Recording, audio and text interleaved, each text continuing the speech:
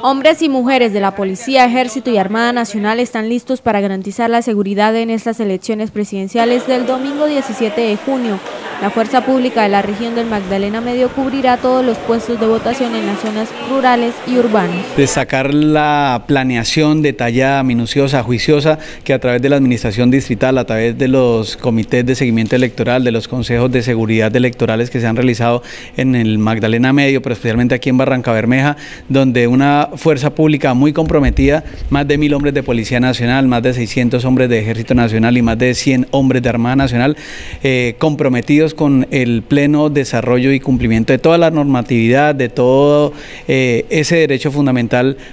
que es el, ejercicio del voto para el día domingo y donde estamos brindando todas las garantías, tanto a nivel urbano como a nivel rural. Todos los puestos, todas las mesas de votación están cubiertas y donde invitamos a todos los barranqueños para que el día domingo a partir de las 8 de la mañana asistan masivamente a todos los puntos de votación. Como ya lo había anunciado el alcalde distrital, el Ministerio Público acompañará los comicios de este domingo. La personera Llena Marcela Romo afirmó que habrá hombres y mujeres atentos para recibir cualquier tipo de denuncias que se den en los puntos de votación. Recordarles que como Ministerio Público, Defensoría, Procuraduría y Personería estarán acompañando las mesas de justicia durante todo el desarrollo de la jornada electoral para conocer cualquier situación que ustedes consideren requiere ser conocida y atendida por las autoridades. En igual sentido, recordarles que los canales de atención, que las líneas de WhatsApp están dispuestos para recepcionar de manera segura, de manera tranquila, cualquier eh, novedad o situación que ustedes consideren anómala. Las en todo el territorio